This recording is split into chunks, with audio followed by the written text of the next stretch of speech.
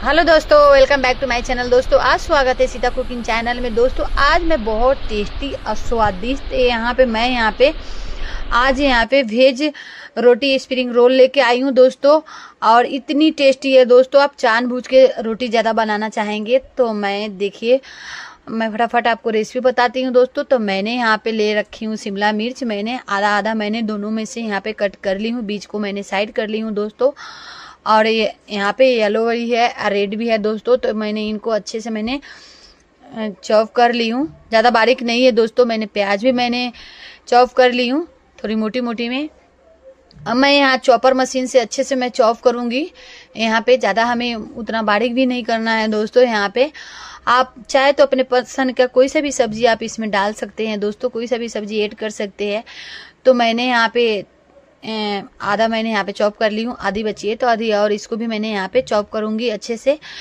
तो मैंने यहाँ पे क्या कर दी, मटर रखा है दोस्तों यहाँ पे, मटर भी मैंने यहाँ पे इसी में चॉप कर रही हूँ, चॉपर मशीन से दोस्तों यहाँ पे। और यहाँ पे आप कोई सा भी अपना सब्ज़ी डाल सकते हैं। यहाँ पे दोस्तों मैं यहाँ पे ले रखी हूँ चुकुंदर, यहाँ पे जो फ्रिज में पड़ी हुई थी दोस्तों। तो ये तो चॉप नहीं हो सकती थी। इसको मैं ग्राइंड करूँगी यहाँ पे मिक्सी के जार में दोस्तों, और मैंने तीन यहाँ पे लहसन मैंने ले रखी हूँ। लहसन के मैंने यहाँ पे चॉप कर दी हूँ अच्छी तरह से दोस्तों, आप देख सकते हो यहाँ पे। और मैंने यहाँ पे पाँच से छः हरी मिर्च ले रखी हूँ, और इनको भी चॉप कर दूँगी अच्छे से दोस्तों। और मैंने यहाँ पे एक चम्मच मैंने जीरा रखी हूँ, यहाँ पे साबुत है दोस्तों। और मैंने यहाँ पे आधा मैंने यहाँ पे बटर रखी हूँ दोस्तों। और इनको अच्छी तरह से हमें फ्राई करना है जीरा को।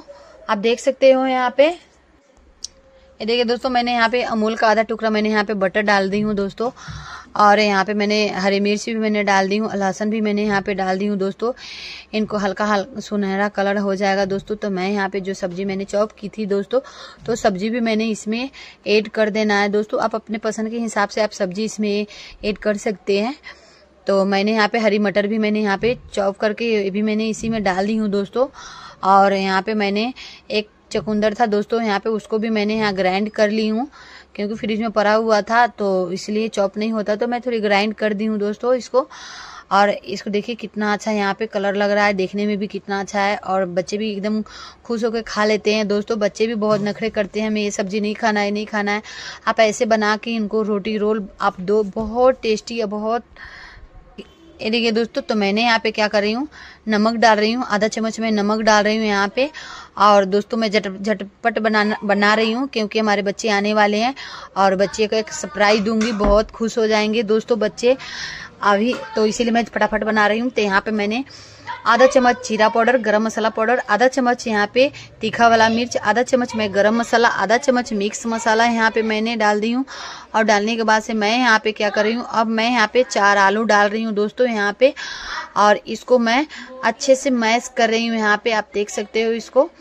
और यहाँ पे मैं चला भी रही हूँ अच्छी तरह से। बिल्कुल यहाँ पे बारीक हो गया मतलब।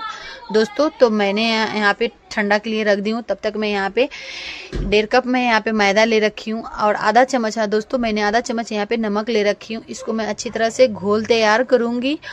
यहाँ पे देख सकते हो, मैंने अच्छी तरह से घोल तैयार कर रही हूँ। और यहाँ पे घोल तैयार हो रहा है दोस्तों। तो मैं यहाँ पे क्या कर रही हूँ, तब तक यहाँ पे सेवई दोस्तों हाँ दोस्तों जो सेवैया हम लोग खाते हैं, खीर बना के दोस्तों, वही सेवई है। आप चाहे तो ब्रेड की भी आप ग्राइंड करके डाल सकते हैं।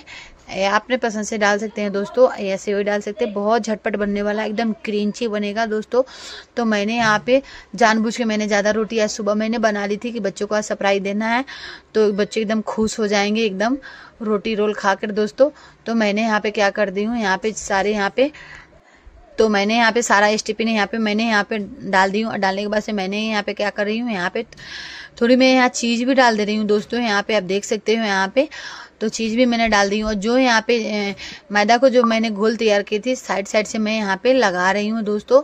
साइड साइड से हमें लगाना है चम्मच से। ये देख सकते हो आप, ऐसे ऐसे लगाना है दोस्तों। और फिर से हमें यहाँ पे रोल करनी है इसको अच्छी तरह से। तो मैंने सारे ऐसी मैं रोटी स्प्रिंग रोल मैं बना रही हूँ, सारे के सारे दोस्तों ऐसे कर कर। और फिर से मैं इसमें क्या करूँगी, थोड़ी मैंने यहाँ पे पानी रख देती हूँ।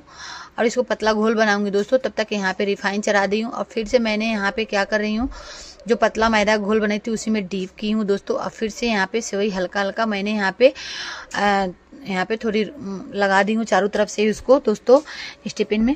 और मैंने इसको गर्म हो चुका है रिफाइन तो मैंने इसी में, देखिए फ्राई करने के लिए मैं डाल रही हूँ। कितना जल्दी झटपट बना, बन गया दोस्तों, क्योंकि पहले से ही बना हुआ, सब पका हुआ चीज़ था यहाँ पे तो जल्दी बन गया। और झटपट बनने वाला है दोस्तों, इतनी टेस्टी है दोस्तों। आप जानबूझ के रोटी बन बचा कर ऐसे बनाएँगे आप दोस्तों। ऐसे आपको रेसिपी कैसे लगे हमें ज़रूर बताएँ। रोटी रोल स्प्रिंग आपको कैसे लगे हमें कमेंट बॉक्स में ज़रूर बताएँ। और देखिए यहाँ से, यहाँ पे चटनी के साथ यहाँ पे सर्व करिए और गरम गरम खाइए। दोस्तों, अब बिल्कुल क्रेंची है यहाँ पे।